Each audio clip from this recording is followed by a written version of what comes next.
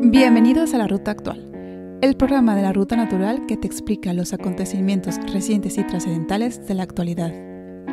Lo mires por donde lo mires. Presentado y producido por Raúl Sada.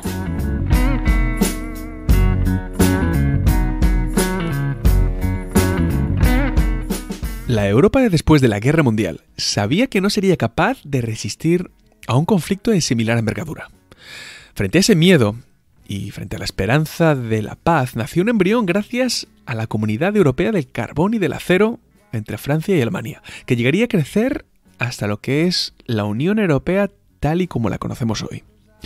Han sido muchos años creciendo. Son ya varias generaciones de europeos los que, los que se han hecho mayores o, simplemente han nacido sin conocer fronteras, o usando el euro entre, entre Francia y Bélgica, o España y Portugal, por ejemplo. Son muchos años, como digo, pero también muchos vaivenes y muchas crisis, conflictos y altibajos que han visto desde Bruselas. Seguramente no para estar curados de espanto, pero sí para saber lo que es construir un edificio tan ecléctico desde sus cimientos.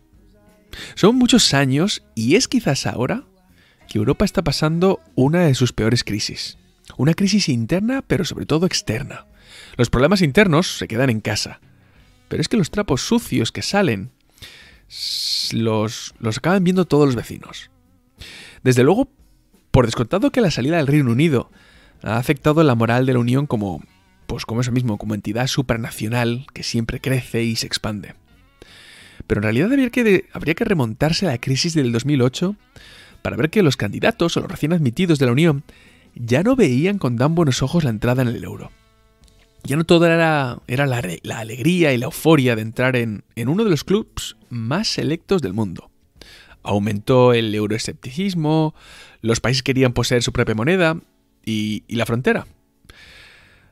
Bueno, eso, eso, los temas de la frontera llegaron algo más tarde, con la crisis de los refugiados a raíz de la primavera árabe y la guerra civil en Siria. Pero fue fue a partir de ese momento que muchos se dieron cuenta que, que para poder pasar de un país a otro, bueno, que eso mismo, que pasar de un país a otro era, era una ventaja, pero que también incluía el paso de inmigrantes. Y muchos empezaron a plantearse los beneficios frente a las desventajas. La pandemia, por su lado, ha pegado fuerte en el continente y como colofón ha traído la ralentización de la economía, las pérdidas de empleos masivas y ahora la crisis de las vacunas. Pero todo esto es circunstancial. De lo que sí ha crecido Europa, y que no ha faltado detractores que la acusen de ello, es de una política exterior común y fuerte. Las relaciones con Estados Unidos han sido un constante tira y afloja con la administración Trump. Y ahora con, con Joe Biden la cosa tampoco va en muy buen camino. Más que nada por los acuerdos comerciales que la Unión Europea acaba de firmar con China, por un lado, y con Rusia, por otro, respecto al famoso gasoducto Nord, Stream. Un par de acuerdos firmados muy a pesar de la opinión desfavorable de los Estados Unidos. Respecto a las relaciones con Rusia, de Europa con Rusia, pues ya se ha puesto de manifiesto tras la visita del alto representante de la diplomacia europea, Josep Borrell, que las relaciones entre ambas federaciones son eh, delicadas. Y luego está el tercer peso pesado, China. Porque ahora el mundo, el mundo ya no está dividido en, en ya no, ya no existe esta dualidad de Occidente y Oriente, el norte y el sur, el capitalismo, el comunismo, el primer mundo, el segundo mundo, como se definió durante la la, Guerra Fría, al, bloque americano contra el bloque soviético, que por cierto, de ahí viene la expresión del tercer mundo. Aquellos países que no estaban alineados ni con un bloque ni con otro eran eso mismo, eran, eran los terceros. Ahora el planeta, como digo, tiene un equilibrio basado en los Estados Unidos, Rusia y China. Y Europa, en este equilibrio planetario, no pinta nada. No tiene ni medalla de oro, ni de plata, ni de bronce, y casi diría yo que se queda sin diploma olímpico, que si no me equivoco el Comité de los Juegos Olímpicos se lo entregan a los ocho primeros de cada prueba. Una Unión Europea que en términos de PIB representa la segunda potencia mundial. Es el tercer país poblado con más poblado, con lo que eso representa en términos de mercado. Y a pesar de todo, en la estrategia global es un ente poco influyente, casi inaudible e impotente en cualquiera de sus demandas frente a, a eso mismo, los grandes titanes. El tío Sam de Estados Unidos, el oso ruso y el dragón chino. Europa acude a las reuniones, sí, y está presente en las citas. Es popular, pero nadie le escucha. Es como el niño rico que todo el mundo quiere caer bien, pero a quien nadie le importa lo que opina en realidad.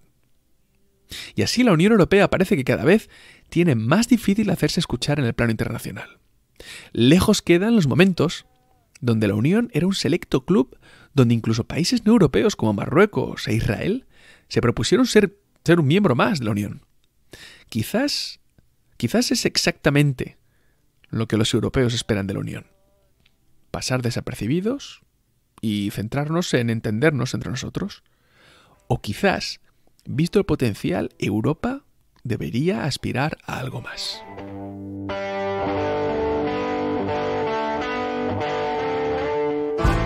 La Unión Europea puede permitirse el lujo de servir como ejemplo de muchas cosas para otros países. Salvaguardar las libertades, proteger una calidad de vida, la, diversidad de sus lenguas y su cultura, y seguro que muchas cosas más que me dejo en el tintero. Pero en estos últimos cuatro años, donde Trump ha puesto de manifiesto la enorme dependencia que tenemos los europeos en materia de seguridad con Estados Unidos, se ha puesto eso mismo de manifiesto que también hay deficiencias. Occidente y concretamente la Unión Europea tienen dos frentes amenazadores.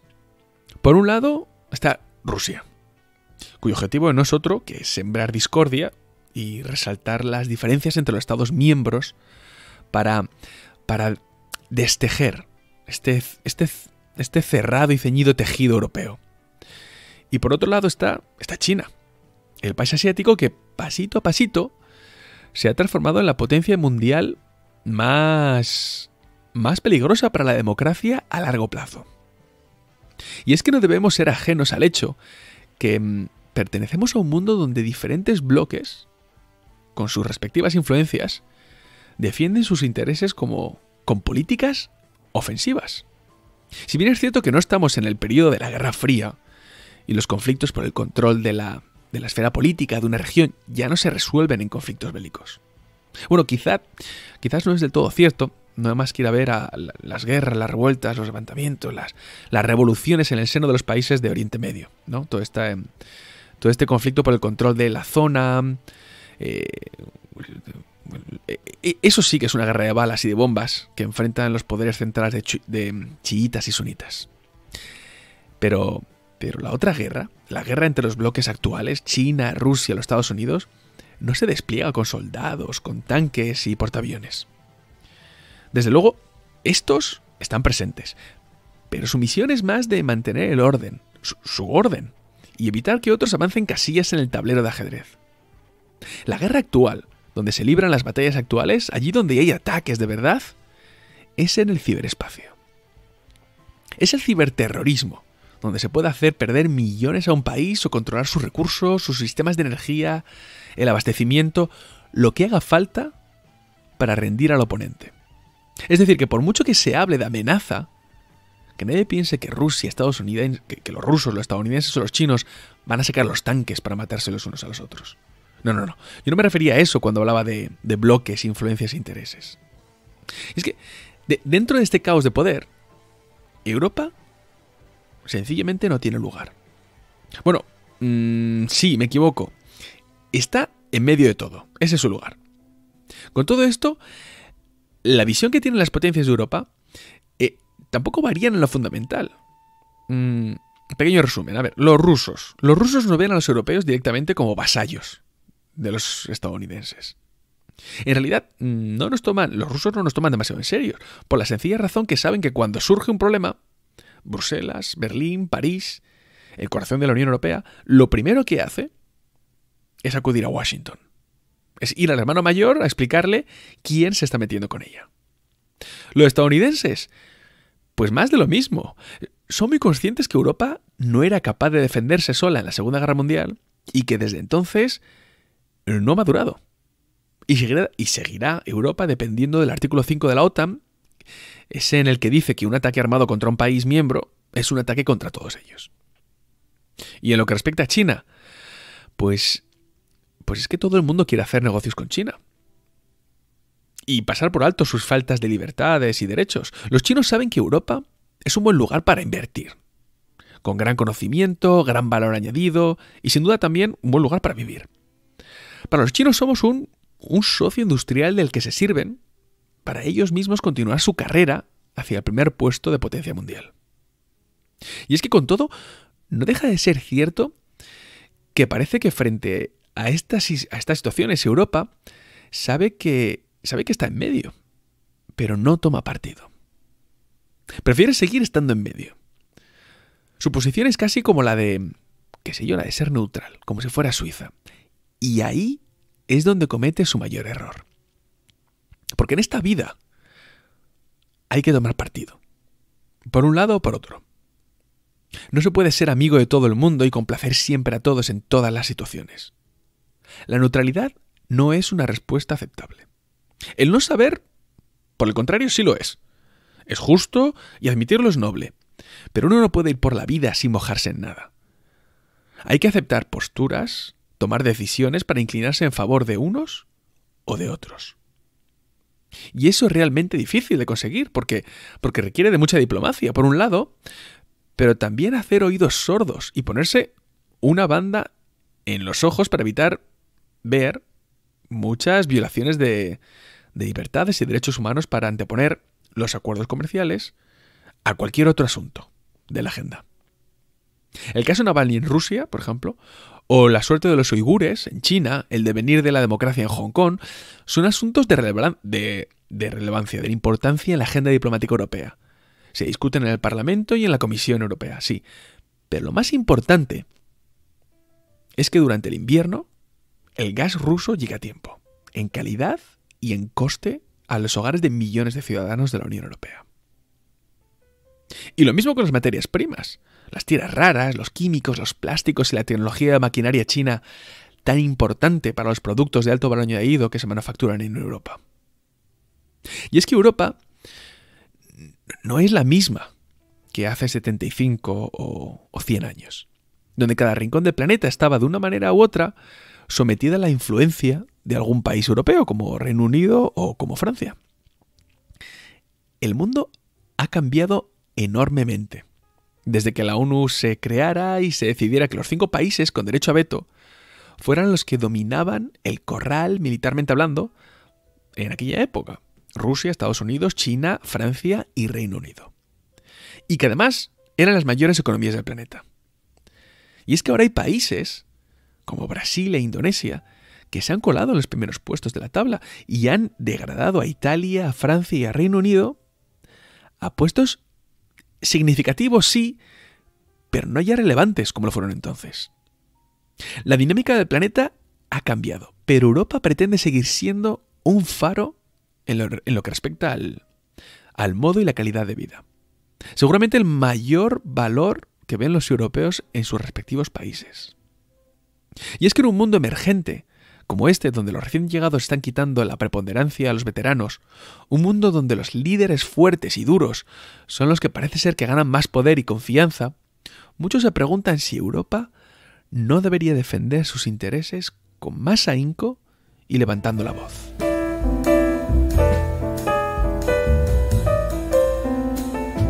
En lo que respecta a los nostálgicos, quizás, quizás aquellos que ven con ojos llorosos los viejos tiempos que consideran desde luego siempre mejores.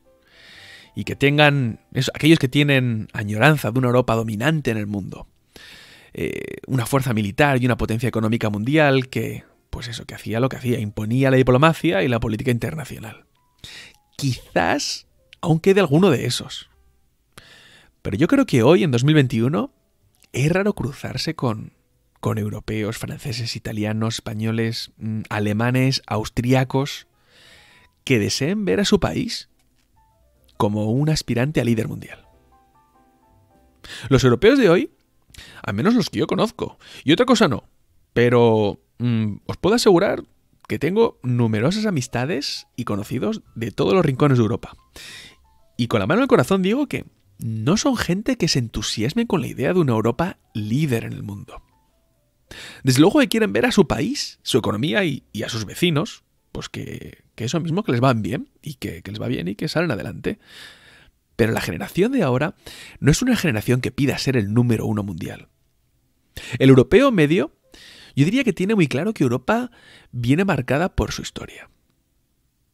Y antes de los grandes imperios, conquistas, colonias y provincias que llegaron a estar bajo el manto de, de, un país o de otro de Europa, antes de todo eso hay dos guerras mundiales. Y a pesar de que esa memoria ya no está viva, es decir, que ya no quedan, ya no quedan veteranos o alguno, alguno muy, muy, muy mayor habrá de las guerras mundiales. Es decir, eh, gente que estuviera en cualquiera de los frentes, de las guerras, que siga viva, eh, aunque esa memoria sí que está presente en las familias. Está en los pueblos y están en las instituciones. El europeo medio, como mucho, se contenta de ver que, que a algunos de sus científicos se les concede un premio Nobel y que en su país se queda, pues, más o menos bien situado en el medallero olímpico de los Juegos Olímpicos. Esas son quizás dos de los, de los orgullos más satisfactorios para alguien que sabe que el campo, el campo está abierto para aquellos que quieren pelearse y partirse la madre para conseguir el número uno. El número uno en todo. Ser el primero, el más rápido, el más, el más listo. Como pretenden rusos, americanos y chinos. Ellos sí. Ellos sí pretenden quedarse en el número uno del medallero olímpico. Ganarse los campeonatos de ajedrez y conseguir los premios Nobel. Para ellos se trata de una carrera inagotable por mantener su hegemonía de potencia.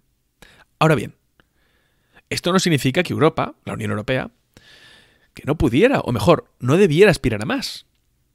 Si bien es cierto que a veces Europa apenas puede ejecutar un golpe de fuerza verbal debido a la, a la unanimidad de sus decisiones y también a las, a las divisiones de los Estados miembros, como decía, creo que la razón primordial es que los europeos mantienen una cierta aversión por el poder, algo que está muy arraigado en nuestra cultura y en nuestra historia. Y fundamentalmente es porque la Unión Europea se construyó sobre unas reglas de juego que más que permitir, primeramente pretendían evitar. Evitar que otro desastre se desatara en el continente. Y, Europa funciona así mismo. Existen dos grandes líneas políticas, eh, de manera general, la política interior y la política exterior. Para la primera, la interior, la que se aplica en casa para mejorar o mantener lo que ya tenemos, eso no se nos da mal. Se nos da bastante bien, de hecho. Hay estabilidad, hay una estructura fuertemente establecida con valores democráticos. Y la segunda, que es la política exterior, ahí es donde Europa flaquea. Porque en la política exterior uno debe, debe hacerse escuchar. Pegar un puñetazo encima de la mesa y dejar las cosas claras, establecer límites, sanciones y amenazas para mantener su influencia y su hegemonía. Si no viene otro, y se lo come. Europa eso no sabe hacerlo. Y tampoco los ciudadanos, yo creo que los ciudadanos no quieren hacerlo en realidad. Y, bueno, y por su parte los políticos no saben hacerlo. Pero es que tampoco es tan sencillo. Tampoco es cuestión de echar, de echar culpas. No, no, es, no es una tarea fácil. Porque en realidad ambas políticas, la interna y la externa, están estrechamente ligadas. Para que todo gire, para que todas las ruedas dentadas, eh, debidamente engrasadas, giren por dentro, hay que asegurar que por fuera el ambiente está es el adecuado, está tranquilo. Es decir, que si Europa quiere hacer valer sus valores y sus intereses, debe castigar a los líderes autoritarios que tanto desaprueba.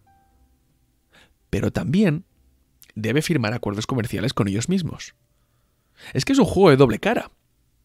Pero porque los intereses lo exigen. Porque lo que sí que no es posible es firmar acuerdos comerciales con China, como recientemente acaba de ocurrir a pesar de las críticas de Estados Unidos, facilitar la llegada del gas ruso, pero por otro lado, criticar la política china en, Hong Kong, los campos de adoctrinamiento en Xinjiang, pedir la liberación de Navalny y mientras estar bajo el abrigo del poder militar estadounidense. Ahí es donde una vez más falla Europa, porque pretende contentar a todos. Europa necesita comenzar a adoptar una posición clara y unida, porque Europa puede aspirar a más. No digo ni mucho menos comenzar una guerra, no, ¿qué va? Pero quizás imponer sanciones, y no ya a los países, Porque esas se, esas se han demostrado, cuando echamos la mirada atrás, que no funcionan. Sanciones a las personas, que ahí es donde más les duele. Estados Unidos, por ejemplo, tiene una ley que se llama la ley Ma Magnitsky. Ellos lo llaman el Magnitsky Act, la ley Magnitsky. Y esta ley venía a castigar a aquellos responsables rusos de la muerte de, lo que era un consultor. Eh, bueno, era un, era un experto en, en, experto en, impuestos, en hacer declaraciones de la renta. Y, también debía de ser un soplón. Pues em, este señor, que era ruso, Magnitsky, em, murió en extrañas circunstancias en una, en una cárcel de Moscú. Así que mm, ninguno de los que se consideran responsable, bueno, lo que hace la, ley Magnitsky es que ninguno de los que ellos consideraban responsables, los estadounidenses, podían viajar a su país, a Estados Unidos, o incluso aprovecharse de ciertos beneficios, como el sistema bancario estadounidense. Lo que pasa es que luego, a partir del 2016, esta ley, la ley Magnitsky, se extendió. Y ahora se aplica a cualquiera que esté o que actúe contra los derechos, los derechos humanos. Bueno, pues en Europa hay algo similar. Muy reciente. Desde el pasado diciembre Europa tiene una herramienta mm, muy parecida. No tiene un nombre tan, tan curioso, pero, pero ya, ya puede empezar a aplicarla. Y es, y es que es de gran utilidad. Porque como digo antes, ahí es donde más duele. A esta gente le encanta tener eso mismo, un ático en París, un chalet en las afueras de Londres, o qué sé yo, irse a Puerto Banús con el yate. Es que es ahí donde más les duele.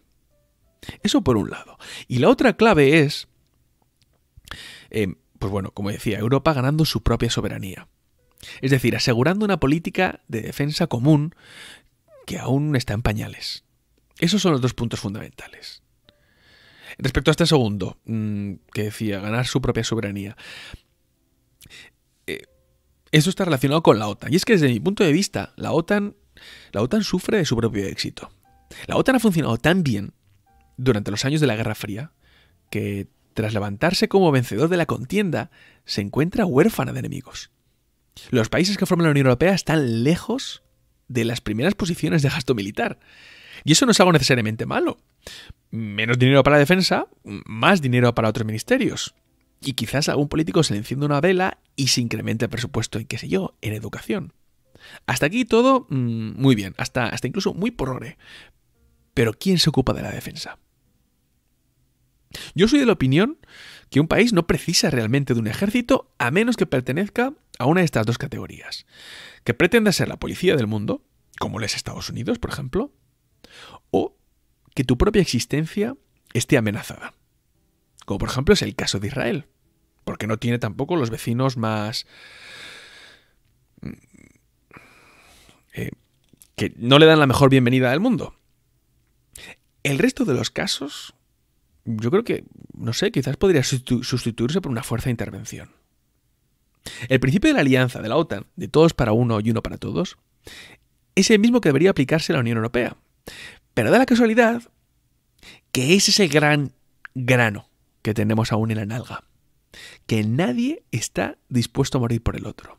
O defender lo que considera, lo que no considera suyo. Por ejemplo, a los polacos les importa poco el Mediterráneo. Los finlandeses, idem con una invasión, mm, qué sé yo, de Marruecos en Canarias. Y los españoles más de lo mismo. Nos importa un bledo mm, el potencial conflicto que pueda haber en la frontera rusa con Finlandia. A los europeos nos falta conciencia de unión. A decir verdad, es algo que los gringos tampoco consiguieron hasta el final de la guerra civil, casi 100 años después de su nacimiento. Y en Europa aún somos jóvenes. Tan solo llevamos 25 años desde, desde los acuerdos de Maastricht. Nuestra defensa, en caso de un gran conflicto, de que en caso que, nos vuelva a pillar en Bragas un gran conflicto, como ocurrió en la Segunda Guerra Mundial, y si no que se lo pregunten al señor, al señor Maginot, el, famoso, famoso ministro de guerra francés de la Maginot, que montó, pues, eso, montó, montó todo un, un conjunto de, defensas que al final llegaron los, alemanes y, simplemente la bordearon. Pues nuestra, nuestra defensa, en caso de un conflicto, mm, sería. La respuesta, respuesta sería paupérrima y dependería, de nuevo, de la manada de jóvenes voluntarios yanquis que desearan morir por su patria y ser enterrados en Arlington. Y es que la pregunta queda en suspenso. ¿Estaría la Unión Europea en posición de garantizar la seguridad que provee Washington hoy? Porque 27 enanos no hacen un gigante. Y es que, como digo, ese es el intríngulis de la política internacional. Hay que elegir entre derechos humanos y estrategia, entre defensa y soberanía. Es momento de que Europa madure y llegue a la edad adulta. Es hora de afrontar los dilemas morales a los que hacemos frente cuando, pues cuando somos mayores, mayores de edad y tenemos ciertas responsabilidades. Es quizás el momento de hacernos mayores y ocuparnos de nuestros propios asuntos, aquellos de los que antes se ocupaban nuestros padres.